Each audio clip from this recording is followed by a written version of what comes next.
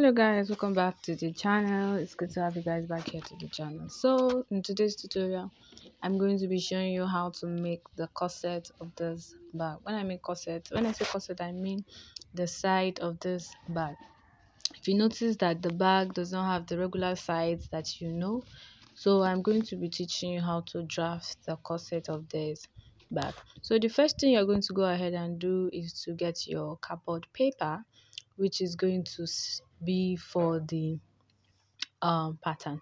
So the measurement I am using is a 5.5 inches by 8 inches bag. Most of my bags are at that range, uh, at that width and length because it is a mini, mini beautiful bag. So the first thing I'm going to go ahead and cut out is um the bottom of the bag remember our measurement is 8 inches so i'm going to cut out 8 inches by 4 inches. So the width of the bottom of the bag is going to be 4 inches. And uh, uh, the wideness of the bag already is 8 inches. So i'll cut out that 8 inches.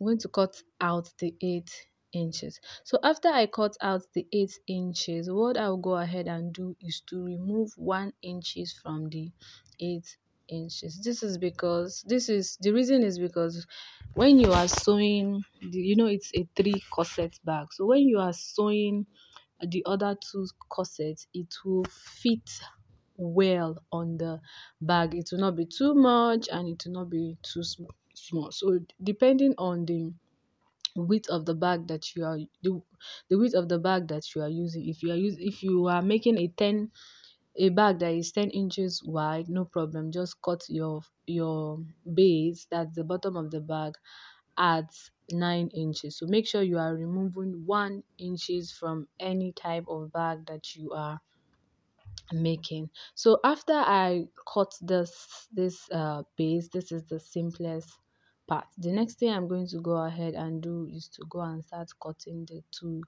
sides. So the width already of the base is four inches. So also the width of uh the uh, side is going to be definitely be four inches. Now the height of the bag is 5.5 inches. So i am measuring 5.5 inches. So it's going to be 4 inches by 5.5 inches. So i'll go ahead and mark mark all my markings and cut cut it out. So please i really want you to pay attention here so that you will not go and make mistake. Even me when i was learning as a beginner i made a lot of mistakes making this gusset. This gusset used to make your bag looks unique beautiful and stand out. And even if you make a mistake okay as long as you get the cutting of this gusset right it will really not affect it will it will not you can't make a mistake when you uh, get the dimensions of this gusset gusset right. So when you go ahead and cut it please pay attention to this please. I have uh, a tutorial on the channel on how i I uh, wrap the gusset with um, an Ankara fabric and a lining. So I'm going to put the link in the description box so that you'll be able to go and see how I was able to wrap the this gusset because you don't wrap it the way you wrap every every other part of your bag. You have to be careful and um, technical about wrapping it. So after i have cut out my side the first thing i'm going to go ahead and do is to go up like this by half an inch and to please look at what i am doing. It is very very important. I go in by half inches. I go uh to towards the side by half inches.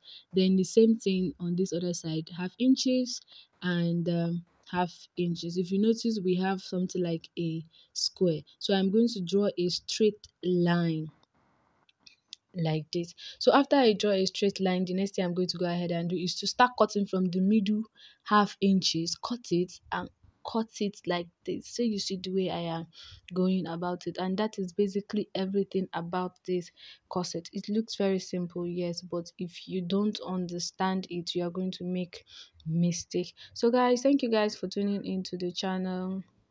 And um, if you want to see how i was able to cover this gusset. I have a tutorial. Like i said i'm going to put the link in the description box below. So see you guys next time on my next tutorial. I love you. God bless you. If you are not subscribed please subscribe to the channel. And um, see you guys next time on my next tutorial. Bye